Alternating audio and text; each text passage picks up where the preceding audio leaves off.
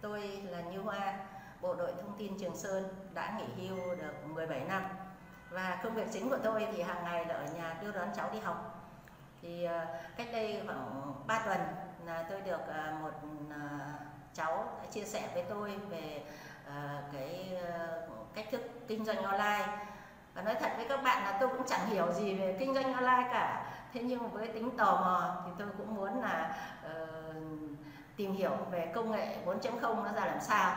Thế nên là đã quyết định uh, ngồi nghe cho hết buổi khoảng tiếng đồng hồ. Sau đó tôi đã mua một ờ, gói ờ, một khóa học online là 110 đô. Thế để đồng hành cùng với các cháu cũng mong muốn là hiểu biết thêm về uh, mạng xã hội và để xem nào uh, cái sự tiến bộ của của của, của xã hội nó ra làm sao thế thì uh, cũng rất là vui là tôi uh, sau khi học và uh, hành thì tôi cũng đã chia sẻ lại với các bạn thì chia sẻ với 8 người thì đã 7 người đồng hành cùng với tôi ạ. Và hiện tại thì uh, cũng trong 3 tuần lễ thì tôi cũng có cái thu nhập được uh, xít soát nghìn đô. Vâng uh, đó là cái thành quả mà tôi không thể ngờ tới.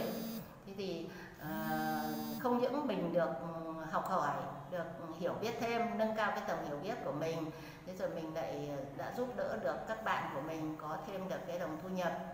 Thì qua đây tôi cũng muốn là uh, chia sẻ với tất cả các bạn gần xa với những người có cái nhu cầu kiếm tiền thì uh, hãy uh, inbox hoặc alo tới số điện thoại của Như Hoa tôi sẵn sàng chia sẻ với các bạn những gì tôi chưa biết được thì tuyến trên của tôi, các cháu nó sẽ rất nhiệt tình để chia sẻ giúp đỡ các bạn có thêm được những cái đồng thu nhập mỗi tháng được nghìn đô như tôi.